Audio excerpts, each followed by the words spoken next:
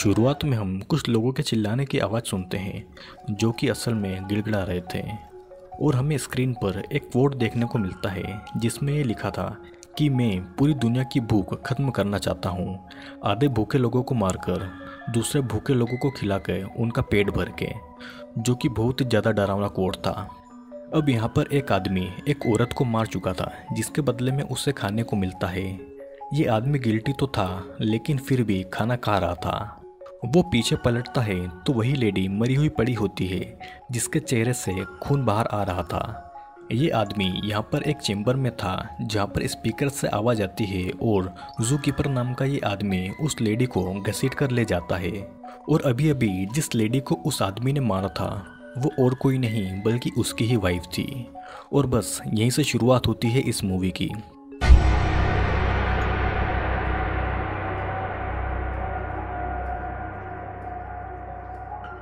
अब यहाँ पर तीन यंगस्टर्स फ्रीडम नाम के एक, बंद पड़े हुए टाउन में जा रहे थे।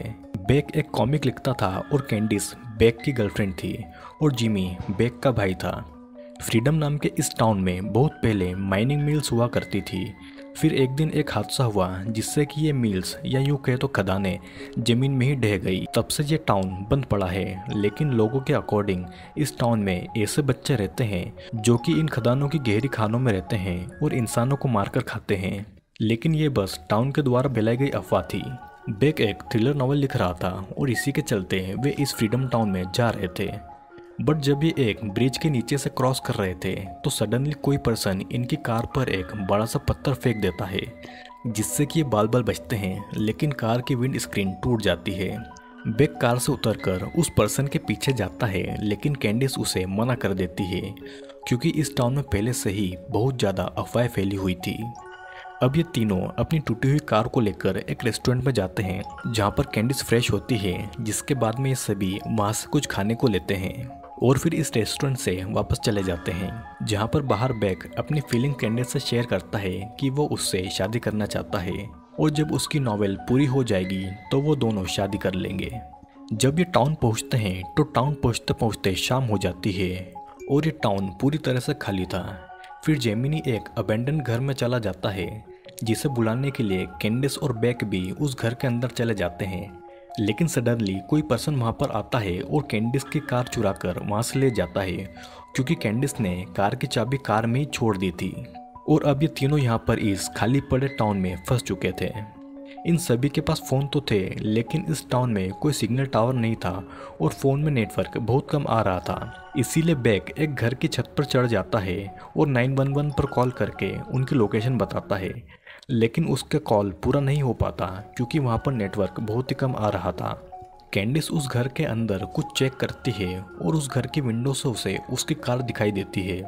कैंडिस बाहर आकर बैग को बताती है कि अभी अभी उसने उसकी कार को देखा है, लेकिन सडनली पीछे से कोई उसके सिर पर मारकर उसे वहाँ से घसीटता हुआ कार की डिक्की में डाल देता है और ऐसा करते हुए उसे बैग देख लेता है। बैग कैंडिस की मदद करने के लिए भागता है, लेकिन तब तक देर हो चुकी थी। ये आदमी वही जू कीपर था, जो कि मूवी की स्टार्टिंग में दिखाया गया था। वो बैग को एक इलेक्ट्रिक रॉड से शॉक देता है, और फिर फायर एक्सटिंग्विशन से CO2 गैस उसके ऊपर छोड़कर उसे और कैंडिस को दोनों को ले जाता है। कैंडिस को जब होश आता है तो वो एक पिंजरे में बंद थी, और ये पिंजरा एक बंद पड़े हुए रूम में था। बैग की हालत तो इससे भी ज़्यादा ख़राब थी। उसे तो ऊपर से नीचे तक किसी ने टेप से लपेट दिया था। अब अगेन, स्पीकर से कोई पर्सन बोलता है और वो उनका वेलकम करता है। वो ये बताता है कि ये दोनों एक स्कूल में हैं और वो आदमी यहाँ का प्रिंसिपल है। प्रिंसिपल माइक में अजीब अजीब बातें कह रहा था, जैसे कि कोई पर्सन खाने के लिए कुछ भी कर सकता है। मतलब कि कोई इंसान खाने के लिए किसी भी हद तक जा सकता है, वो मर भी सकता है और किसी को खाने के लिए मार भी सकता है। कैंडिस उस आदमी की बातों से परेशान होकर वहाँ पर लगा हुआ सीसीटीवी कैमरा देख लेती है और वो उसे तोड़ देती है, जिसके बदले में स्पीकर से बस यही आवाज़ आती है कि कैंडिस को इसके बदले में और कठोर सजा मिलेगी।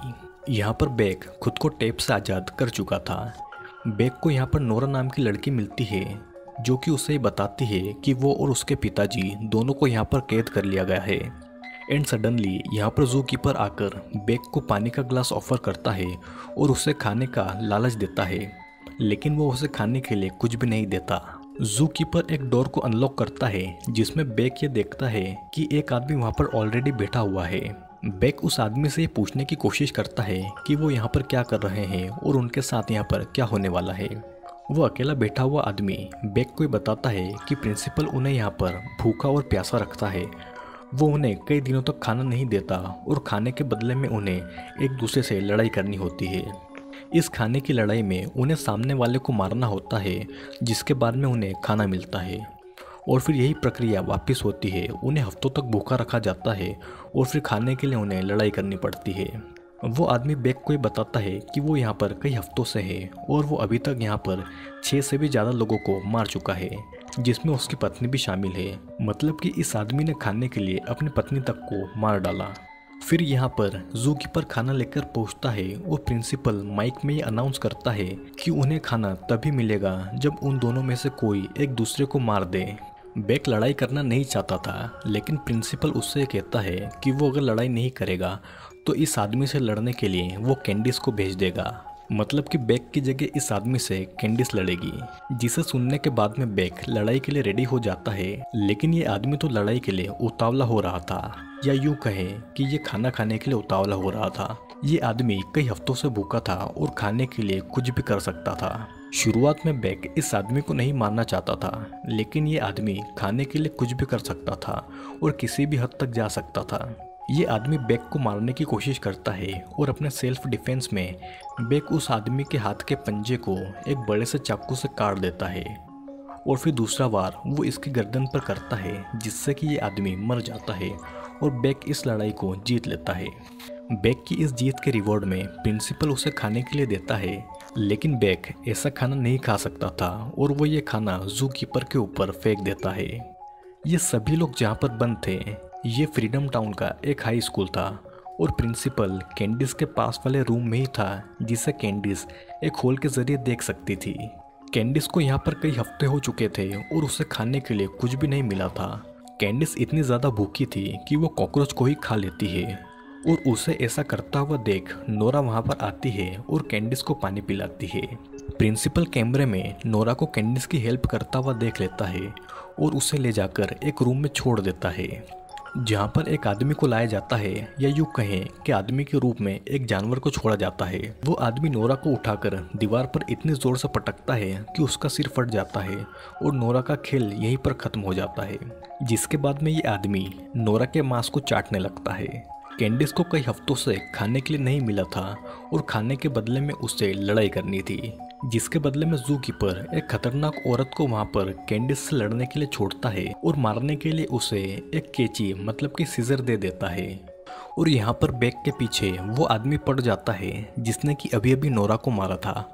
और वो अब बैग को मारने वाला था, जिससे बचने के लिए बैग वहाँ से भागने का रास्ता ढूंढ रहा था। यहाँ पर ये औरत अपनी भूख से इतनी ज़्यादा परेशान थी कि वो कैंडिस पर कई वार करती है, लेकिन कैंडिस उससे बचकर वो सीजर को छुड़ा लेती है और उसकी आँखों में उस सीजर को घुसा देती है, जिससे कि कैंडिस से खाने की लड़ाई को जीत लेती है। और फिर सडनली बैग कैंडिस के रूम में पहुँच जाता है उस आदमी से बचते हुए। कैंडिस बैग को ये कहती है कि प्रिंसिपल पास वाले रूम में ही है और उसके पास कैमरे तो कई सारे हैं, लेकिन मॉनिटर एक ही है। वो एक टाइम पर बस एक ही कैमरे पर नज़र रख सकता है। कैंडिस और बैक एक दूसरे से ये बातें करते हैं कि यहाँ पर कई सारे लोग फंसे हैं और उनके बचने का कोई भी रास्ता नहीं है। उन्हें जल्दी मार दिया जाएगा।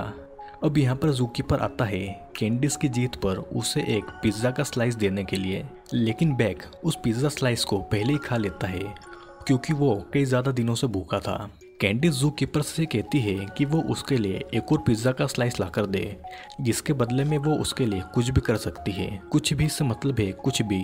जू कीपर कुछ देर सोचता है, लेकिन प्रिंसिपल उसे बुला लेता है, जिसके बाद में कैंडिस बैग पर बहुत ज़्यादा नाराज़ होती है, क्योंकि वो उसका पिज्जा का स्लाइस खा चुका था। और यहाँ पर हम ये देखते हैं कि इंसान खाने के लिए कुछ भी कर सकता था।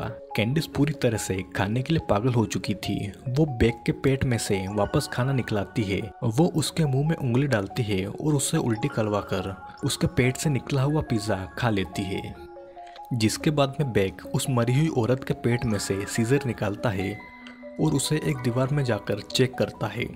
अब ये सीन कट होकर उसी रेस्टोरेंट पर आ जाता है, जहाँ पर कैंडिस और बाकी के लोग गए थे। उस रेस्टोरेंट में एक डिटेक्टिव आई हुई थी और वो कैंडिस और बाकी लोगों के बारे में पूछ रही थी। क्योंकि इन सभी को गायब हुए एक महीने से ज़्यादा हो चुका था और उनकी कोई भी खबर नहीं थी। फिर वहीं रेस्टोरेंट में बैठा हुआ एक बूढ़ा आदमी डिटेक्टिव को ये बताता है कि उसने उन तीनों बच्चों को देखा है और वो आदमी उस डिटेक्टिव को उस जगह पर ले जाता है जहाँ पर उसने उन्हें आखिरी बार देखा था।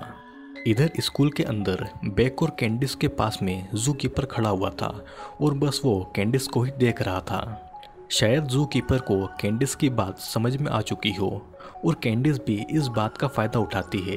वो जू कीपर से खाने के लिए कुछ मंगवाती है, लेकिन वो उसकी नहीं सुनता और वहाँ से चला जाता है। जो सीजर बैग को मिली थी, वो उससे रोज़ दीवार में होल बना रहा था, जिसकी खबर उसके और कैंडिस के अलावा किसी को नहीं थी। जब बैग दीवार में होल करता था, तब कैंडिस वहाँ पर पहरा देती थी। फिर कैंडिस बैग को ये बताती है कि वो उसके बच्चे की माँ बनने वाली है और वो प्रेग्नेंट है।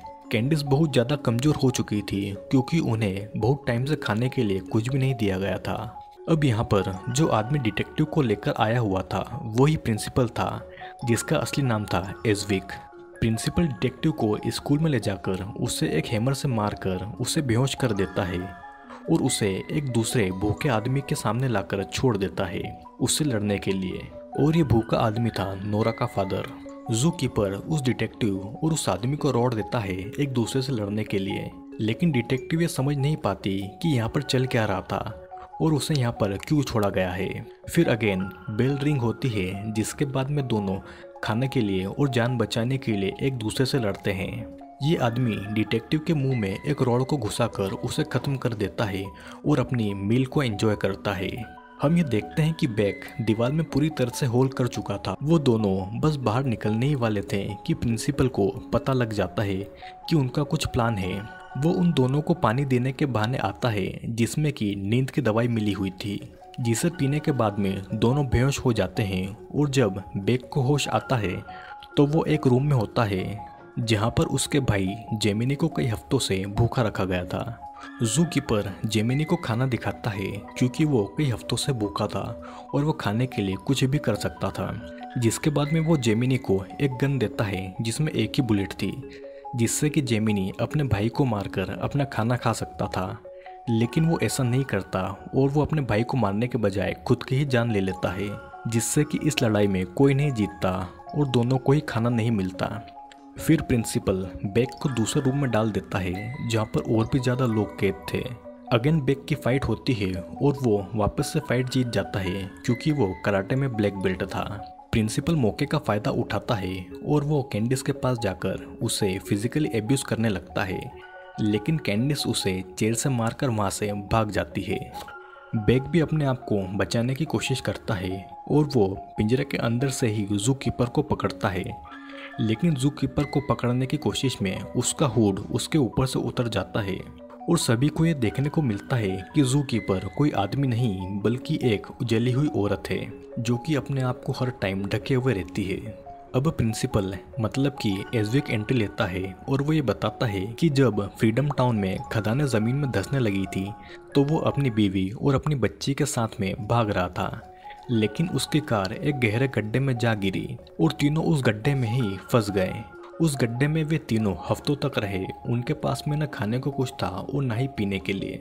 वे कई हफ्तों तक ऐसे ही फंसे रहे और उन्हें बचाने के लिए कोई भी नहीं आया। उस गड्ढे के अंदर उसने और उसकी बीवी ने अपनी बच्ची को मार दिया और उसे खाकर वे दोनों ज़िंदा रहे। एजविक किस्मत वाला था, लेकिन उसकी बीवी नहीं। वो खदान में से निकल रही गैसों की चपेट में आ गई, जिससे कि उसकी पूरी चमड़ी जल गई और वो ऐसी दिखने लगी। अब प्रिंसिपल कैंडिस और बैग की फाइट चाहता था। वो उन्हें गन देता है और वहाँ से चला जाता है। कैंडिस बहुत ज़्यादा भूखी थी और वो खाने के लिए कुछ भी कर सकती थी। वो बैग की तरफ़ फायर करती है, जिससे कि जू कीपर को ऐसा लगता है कि उसने बैग को मार दिया। लेकिन बैग उसे ही उसकी इलेक्ट्रिक रॉड से मार देता है क्योंकि कैंडिस ने उसके ऊपर फायर नहीं किया था। जिसके बाद में कैंडिस और बैग यहाँ से भागने की कोशिश करते हैं और वे दोनों अलग अलग रास्ते पर जाते हैं। क्योंकि प्रिंसिपल कैमरे में उन्हें देख रहा था। लेकिन वहाँ पर एक ही मॉनिटर था और वो एक टाइम पर बस एक ही कैमरे में देख सकता था। बैक गन को लेकर प्रिंसिपल के ऑफ़िस में जाता है उसे मारने के लिए। लेकिन प्रिंसिपल बैक को उसके ऑफ़िस में बंद करके कैंडिस के पीछे निकल जाता है।